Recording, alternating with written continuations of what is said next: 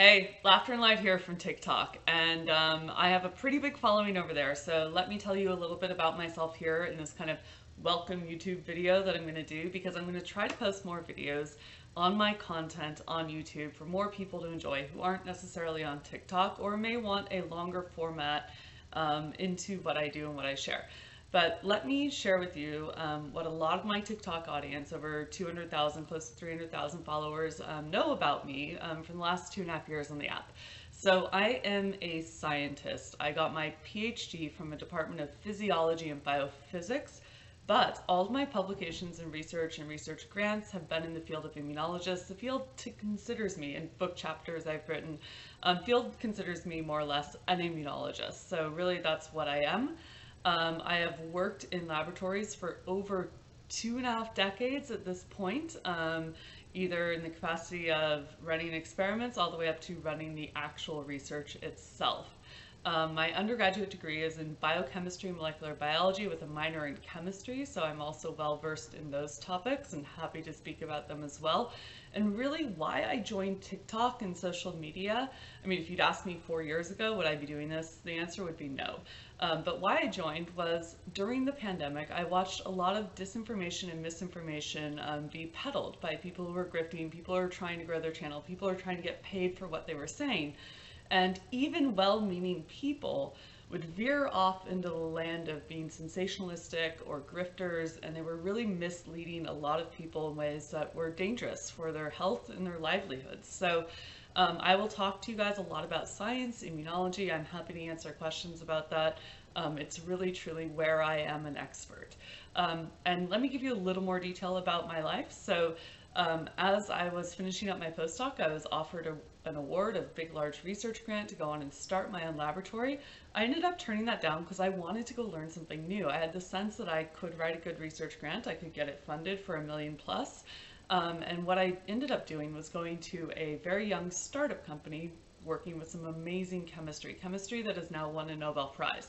Um, when I decided to move on, from that, um, what ended up happening was I founded my own company. I had a lot of ideas. I wanted to get to the marketplace as fast as I could. The primary focus was in the biomedical engineering space. When the pandemic hit, we had a change in course where we ended up using some of our technology to do rapid therapeutics development, SARS-CoV-2 just being one of the things we've worked on, but we can really tackle almost any disease now. And that is what I manage and what I work on day to day. So what can you expect from me on this channel here? So on my TikTok channel, I'm a little snarky. I post a little bit of quips, funny things, and um, here I plan to be a little more science focused and a little more deep diving to try to help you get through things that you may or may not understand or things that you're really just interested in learning. Um, I've done a lot of teaching all the way from the middle school level to the medical school level. I've taught med students. Um, I've taught PhD students. I've taught people in their post-degree classes, so already have their PhD, already have their MD. And so I really do enjoy teaching and helping people understand things in a way that, that makes sense, in a way that will help you understand the world around you a little bit better. So I haven't really decided if I plan to take on misinformation and disinformation head on on this channel yet, or if I just plan to have it be educational. Um, it's very difficult as someone who, who understands this and does the research day to day, who's taught the classes, who has actually held things like a vial of SARS-CoV-2 in my hands, to ignore people who are telling you false information to your own detriment. Um, so that has been a difficult challenge for me, and I'm sure it has been for many other PhDs as well as MDs during this pandemic when they see people spreading disinformation and misinformation that can be harmful. Um, so I may consider doing that as well. I think that's very important for the integrity of the sciences and the integrity of the medical field to, to maintain um, a sense of what we understand as being real and knowledge and referencing back to, to real science and real understanding. You know, you can have arguments at the forefront of the field, but if you don't have data to back them up, they're no more than a fuzzy opinion. And so data quality studies and um, you know real understanding of the basis of immunological systems is critical for um, classifying and determining which information is best for you and how you can use that in your daily life.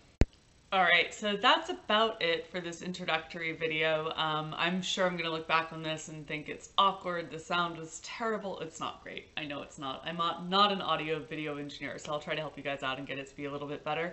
Um, but, you know, honestly, welcome. Um, we're going to talk about a lot of topics here, and I'm really looking forward to helping you navigate the headlines around different viruses, different diseases, and um, what's real and what's not.